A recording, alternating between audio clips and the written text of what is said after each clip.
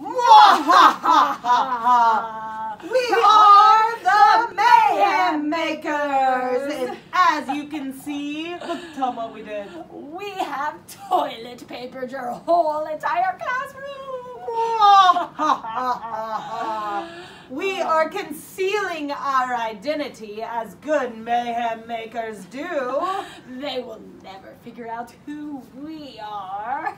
you only have a few challenges to complete to figure out who we are, and if you don't, let's tell them what they have to look forward to. We are going to sneak into your house at night and cause all kinds of chaos and mayhem. Pour out all your cereal. Tear up all your homework and books. Take your toilet paper and dip it in the toilet just a little bit so the bottom of it's just a little wet and gross. That's our favorite one. And then watch out for your toothpaste. It may be shaving cream. Oh, Mayhem is But if you happen to get out, we will not sneak into your house.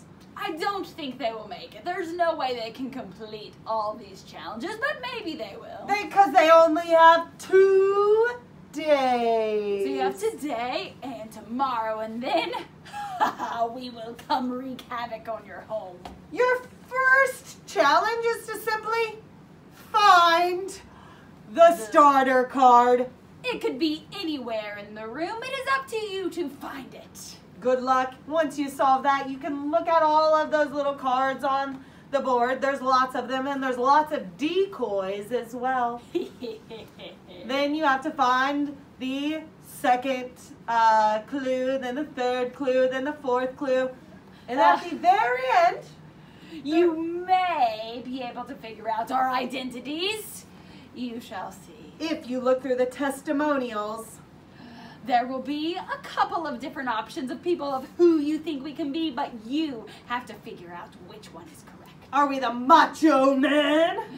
Are we the humanoids? Or the cowboy? Or someone else? I don't know. Who could we be? Good luck. We hope to sneak in your houses soon. and cause a lot of chaos. Ta-ta.